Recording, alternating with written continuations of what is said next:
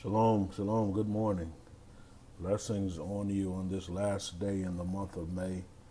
We're so excited uh, to be on today and to share uh, with you uh, this word from this word from the Lord, which is um, given, which we have uh, recorded, and again, our uh, we're on a 21 day of focus to uh, Pentecost. Good, good morning. Uh, thank you for joining us.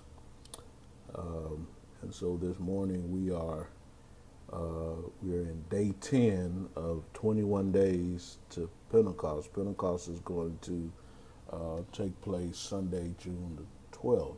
And so uh, the Holy Spirit uh, led us to do these daily emphasis. And we've not been able to be on Periscope every day, but we've got uh, several days, and all of our uh, Periscope broadcasts are being uploaded to our YouTube channel, so you can go to YouTube and watch the ones. Uh, I think we've got about maybe five now, and so with this one, it'll be six uploaded, and uh, and receive the word of the Lord. But you can also go to our website, creativeawakenings.us, uh, and you can uh, you can uh, read. Amen.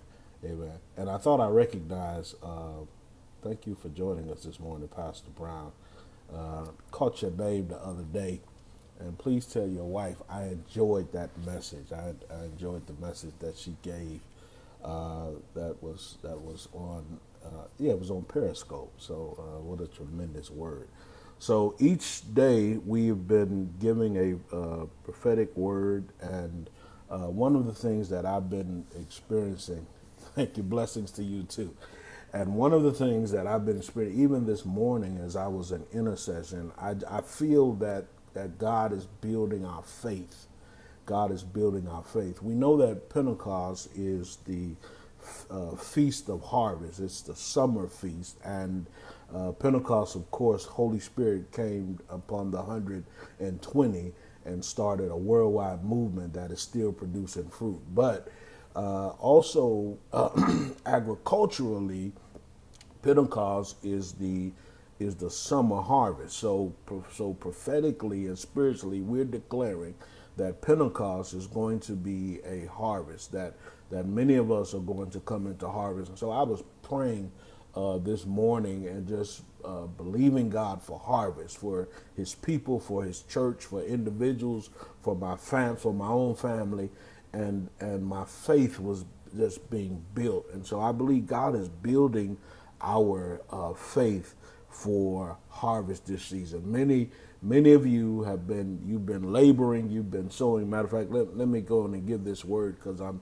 getting ready to talk about the word, but let me release the word for day 10. All right, you have sown. This is the word. You have sown and labored in many fields. Now is the time to inventory the fields that you have planted seeds. Consider the works of your hands. Record the good seeds you have sown. By the end of this year, new harvest will come forth and you will rejoice. Okay. Very rarely does the Lord give me a time, and I'm very careful about about giving prophetic words on times because I've had people to prophesy time to me, and when the time came, it didn't come. Not that the word didn't come to pass, but the timing was off. But I did. I heard the Spirit say by the end of this year that new harvest is coming. But uh, so as we're looking to new harvest, as we're we're looking for new harvest to come forth, uh, but we're looking for a, present day harvest, and I believe that's what this word is speaking to us. That there is a that that the Lord wants us to record. God wants us to record. Why is recording where we have sown so important? It's it's important uh, because. Um, uh, because when we have the record of the seeds we've sown, then we will be we'll also be able to uh, to know when the harvest is coming according to those seeds. And so many seeds have been sown. You have sown in many fields. The Lord says you have sown in many fields, and now it is time for you to record where you have sown because that is also an act. And remember, one of one of our emphasis for this 21 days is these 21 days are going to help us. Blessings to you, uh, Prophet Diana. Thank you for joining us this morning. Uh, one of the things that God is, is developing in us is a harvest mentality.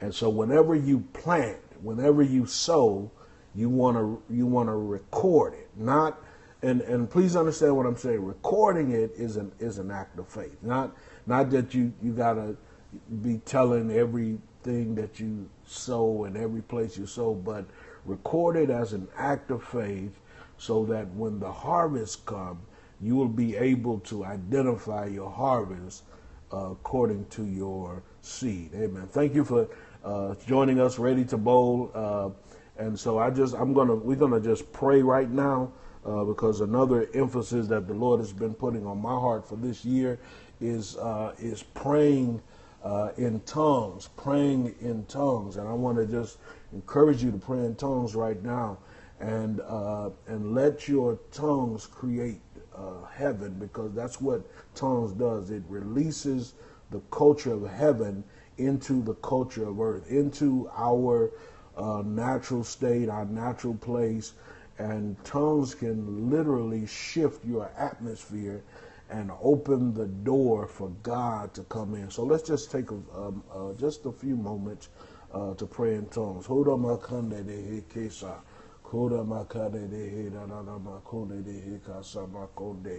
Keda makande de heda na na makusa rakande de heda.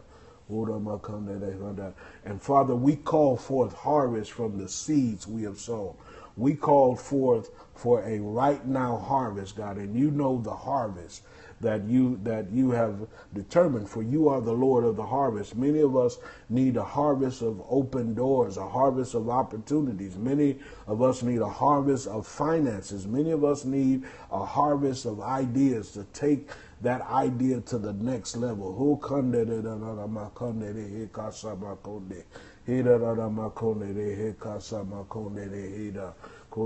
and I bless, amen. I bless each one of you uh, that your that your harvest is coming. I decree and declare that your harvest is coming, and the seeds that you have sown have not fallen in hard places, uh, but they have been waiting for your now time. Now is the time for harvest. For now is the time of faith. Faith uh, now. So God, give us faith for our harvest to uh, to capture and to gather the harvest, to see the harvest, and for the harvest to begin to manifest uh, over these 11 days. And Father, we're not limiting our harvest uh, to, to the calendar that we walk in, but Father, we thank you that we have entered into your season, which is harvest season, and let Pentecost come forth. Let there be a uh, let there be such a release of Holy Spirit. Hold on.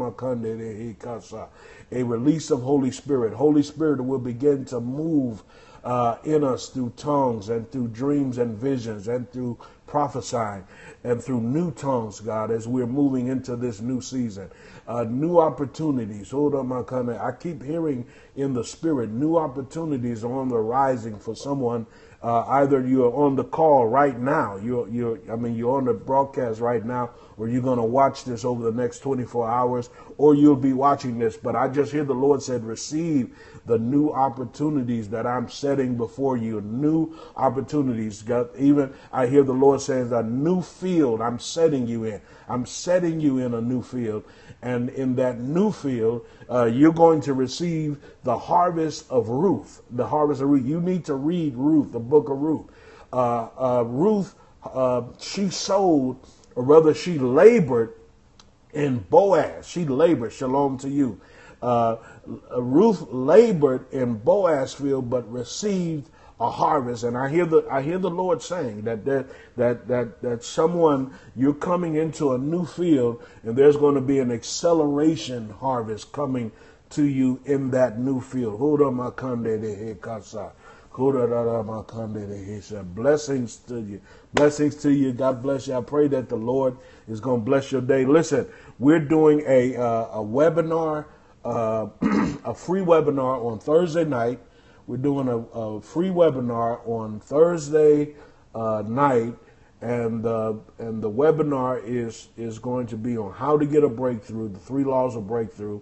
The webinar is going to follow the, the book that we've just recently released.